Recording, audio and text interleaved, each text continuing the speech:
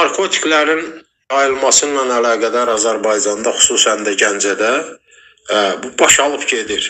7-ci sinif, 6-cı sinifdən uşaqlara narkotika öyrədirlər.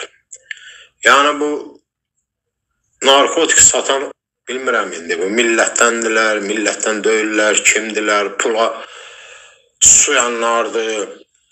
Yəni pula dədələrini satanlardır. Bu alçaq binamus köpək uşağı daha ölkəni pis günə qoyublar. Bunlara da havadarlıq eləyənlər var. Yəni havadarlıq kimlər eləyəcək? Pula suyanlar, pul qazanmaq istəyənlər, bir də bu millətin düşmənləri. İstəmirlər ki, bu millətin gəncliyi, gələcəyi uğurlu olsun, savadlı olsun, yəni göz açıq olsunlar. Bax belə bir alçaq işlər görürlər və mən belə hesab eləyirəm ki, bu işlərin qarşısı alınmalıdır, özdə bunu biz almalıyıq.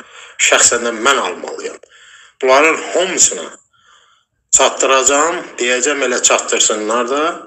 Qoy o narkotik satanlar, gəncliyimizi kör eləyənlər, zəhərləyənlər bilsinlər ki, onların hamısını ən ağır cəzanla cəzalandıracağam. Özdə şəxsən mən cəzalandıracağam. Gəncəni pis günə qoyublar.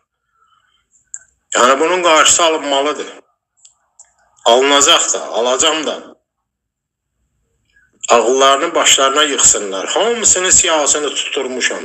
Əgər bu yoldan çəkilsələr, bizim bu gənclərimizi yəni zəhərləməsələr, öz yollarına yığılsalar, sakit tutsalar daxmalarında, onlarla işim olmayacaq. Əgər kim başlayacaq bu işlərə davam eləməyə, onu bilsinlər ki, hamısını, hamısını, onların himayədarlarını da, onların özlərini də hamısını böyük cəza gözləyir. Özə mən cəzalandıracağam, buna da söz verirəm. İnanın Allaha eləyəcəm bunu.